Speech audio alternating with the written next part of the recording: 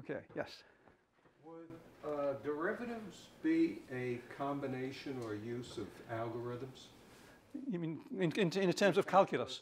Oh, actually, I, in fact, one of the things I, I probably will do is do a half a session on calculus, because calculus is the, is the modern technology world. Without calculus, we wouldn't have modern technology. And uh, calculus, so I'm going to defer a detailed answer. I will definitely now next week. In fact, one of the things I'll talk about next week is calculus, uh, because it needs, it needs more than a, than a quick answer. Um, but let me give you a quick answer anyway, because I'm on a roll now. Okay. Uh, the brilliance of calculus, and it's absolutely brilliance, is it takes something, and it's, it's almost the same brilliance as algebra, um, in that it sort of takes something that's intrinsically difficult, in that case, tedious, because you're doing the same calculation many times, and by ratcheting up the abstraction, instead of having to do the same calculation many times, you have a general method, a formula, that you can just apply without thinking. That's what calculus does. Calculus takes an incredibly difficult problem involving rates of ch continuous change, which when you analyze it involves talking about infinitesimal increments and things changing over infinitesimal amounts of time. gets very deep both philosophically and computationally in terms of, at least conceptually, philosophically and conceptually difficult because you are dealing with these infinitely, infinitesimally small things and so forth. Okay, very, very challenging, very, very difficult. In the 17th century, it was a major headache for people to do it. Uh, Archimedes had struggled with it thousands of years earlier, got results, but it was very hard to understand exactly what it how to make sense of it.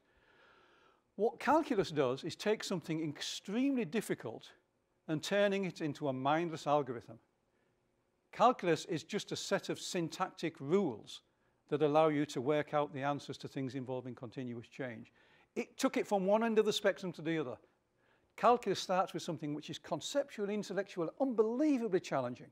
The infinite is something that the human mind literally can't grasp. And yet it, it rears its head as soon as you start looking at infinitesimal changes in continuity. It takes that extremely deep stuff that our minds can't fully wrap around and reduces it to a completely mindless set of symbolic manipulations. That is technology writ large. Take something complicated and reducing it to something you can just push buttons. Uh, calculus was one of the world's first great conceptual technologies. Technologies in the sense of it's a black box. You plug something in and the answer comes out. Magic happens inside. Magic happens inside calculus. I became a mathematician when I met calculus in my last year of high school. I thought calculus, I thought mathematics was kind of useful. I was going to be, I was going to go to university to be a physicist. I wanted to do physics. I went to high school when Sputnik went up. I mean, I just thought space exploration, all this stuff. So I went to university. I was going to go to university to do physics. Spent all my time doing physics. Wasn't particularly good at mathematics. And that's not true. I, I wasn't gifted at mathematics, but I needed to do it for physics. So I put a lot of effort into learning mathematics, which I viewed as a set of tools that would help me in physics. Then in my, after my first year of what's the sixth form in England, when I'm sort of 17, getting into the, the last year of high school, we start doing calculus. We started really doing calculus. I mean, just looking at what the definition of the derivative and so forth. And I'm presented with this stuff that A is obviously very powerful. It allows you to calculate, you know, where the moon's going to be three weeks from now.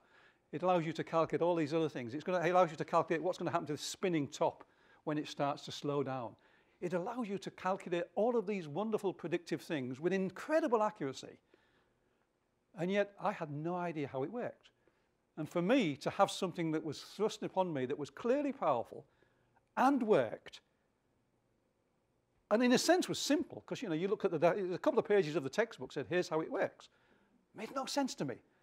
Well, I'm the kind of guy who wants to lift the hood up and see what's going on here. Um, so for me, what turned me into a mathematician was realizing that here was something powerful that I didn't understand. And it took me many years to understand it. And by the time I did, I was a mathematician. Um, because once you've got it, it was funny because most of the other kids in the class, and, and, and the beginning my teacher said, look, here's the formula. If you differentiate x to the n, you get nx to the n minus 1. Just use the sucker and get the problem solved. And I was that kid that kept saying, yeah, okay, but where did that formula come from? Why does that formula work? And I was the only kid in the class, including the teacher actually, who really worried about why that was the case.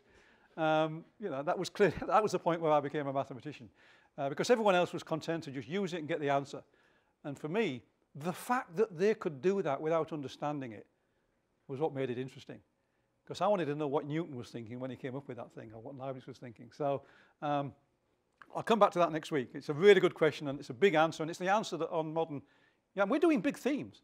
You know, we've already looked at numbers. What's the biggest invention that mathematicians have produced that changed the world? Hindu-Arabic numerals. That's fundamental to modern life for everybody. So that was the biggest one, I would say. What's the next biggest one? Probably algebra, which is more efficient ways of dealing with numbers. And the next one's going to be calculus, because that gives us, the first one gives us all our commerce and our financial business and our you know, quantitative stuff, money, began with money as far as we know. All of that comes on from the numbers. And on the other side, we've got calculus that gives us all our modern science and technology. So these are big, big themes. Um, okay, yeah, that was slightly more than a little digression, but I'll come back to calculus next time. Okay, shall we take a break now? Let's take a break now, and then we'll come back and we'll talk about how we count the votes in an election.